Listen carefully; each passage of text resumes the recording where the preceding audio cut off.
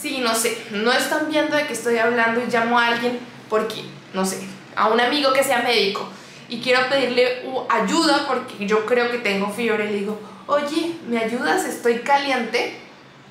Probablemente me interprete mal.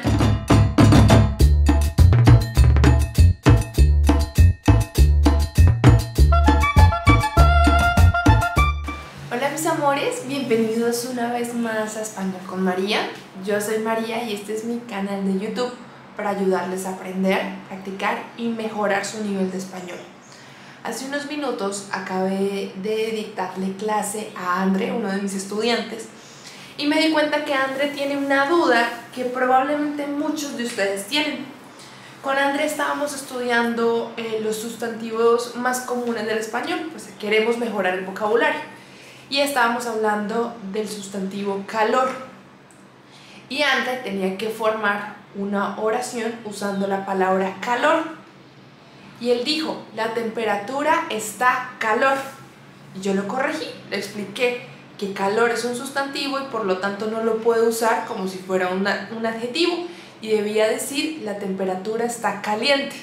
Pero André me miró con cara de mm, no te entiendo por qué me dices eso y me dijo, no María, a mí me enseñaron que yo no puedo decir caliente para hablar de la temperatura. Le dije, ¿cómo así? ¿Qué te enseñaron? Y me dijo, cuando empecé clases de español me dijeron que no podía decir yo estoy caliente cuando la temperatura está alta.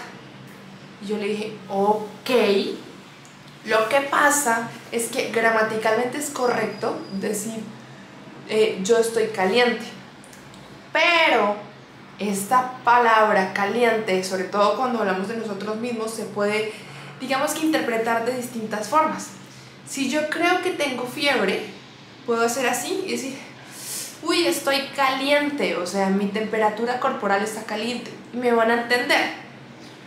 Pero, sí, no sé, no están viendo de que estoy hablando y llamo a alguien porque, no sé, a un amigo que sea médico y quiero pedirle ayuda porque yo creo que tengo fiebre y le digo, oye, ¿me ayudas? Estoy caliente. Probablemente me interprete mal porque estoy caliente se puede traducir como I am horny. Entonces se podrán imaginar la confusión tan gigante y tan problemática que habría. Pero caliente sí significa temperatura, lo que pasa es que se puede interpretar distinto.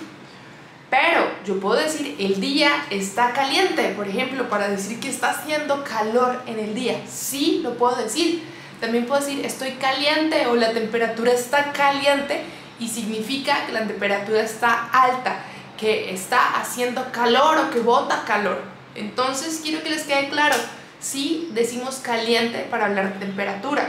Lo que pasa es que si decimos o nos referimos específicamente a una persona y decimos que es caliente o que está caliente, podemos estar hablando más como de su deseo sexual. Pero dependiendo del contexto va a quedar mucho más claro. Por ejemplo, eh, ahora con el coronavirus que nos toman la temperatura en todos lados, alguien le van a decir, tienes la temperatura alta, déjame te toco para ver si estás caliente. ¿Listo? Ahí se entiende, ahí no hay confusión. Entonces, en los idiomas recuerden que todo depende del contexto. Ah, antes de terminar, para hablar de calor, calor es un sustantivo masculino, siempre. Yo digo, hay mucho calor o hace mucho calor, pero no digo hace mucha calor o hay mucha calor, jamás. Las palabras que terminan en OR son masculinas. El calor, el sabor, el color. ¿Clarísimo hasta ahí? Bueno, mis amores, recuerden que en Español con María pueden tomar clases privadas conmigo pueden participar en las salas de conversación con otros estudiantes de español y conmigo y pueden también unirse a nuestros cursos especiales. Les mando un beso gigante y no olviden suscribirse al canal de YouTube.